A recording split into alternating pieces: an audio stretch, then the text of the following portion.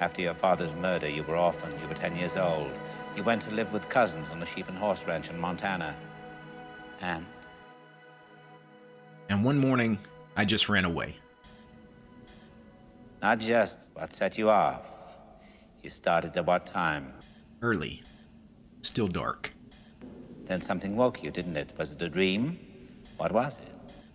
I heard a strange noise. What was it? It was screaming. It was some kind of screaming, like a child's voice. What did you do? I went downstairs. I crept into my uncle's home office where he worked as a Windows PC repairman. I was so scared to look inside, but I had to. What did you see? Laptops. Lots of Windows laptops.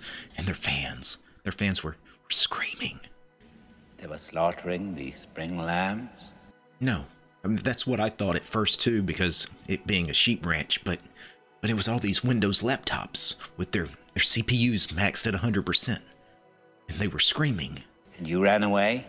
No, first I tried to kill some of the running processes because you know how Windows has so much stuff running in the background, monitoring everything that the user does.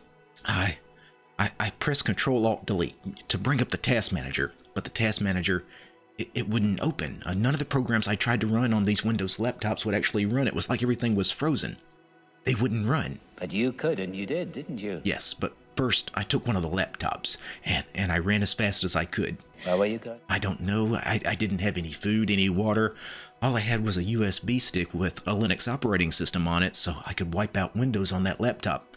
I thought, I thought if I could save just one, the Ubuntu USB stick I had, it didn't work. You know how you're supposed to verify the ISO by doing a checksum? I almost never do that, and this time it caught up with me.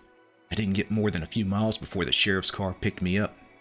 My uncle was so mad he sent me to live at the Lutheran orphanage in Bozeman. The orphanage, they used Macs, so I, I never saw the PC again. What became of your lamb? If by lamb you mean the laptop I took with the intention of installing Linux on it, still running Windows. Still wake up sometimes, don't you? You wake up in the dark and hear the screaming of the Fans. Yes. And you think you could make them stop, don't you? I don't know. You won't wake up in the dark ever again to that awful screaming of the Fans.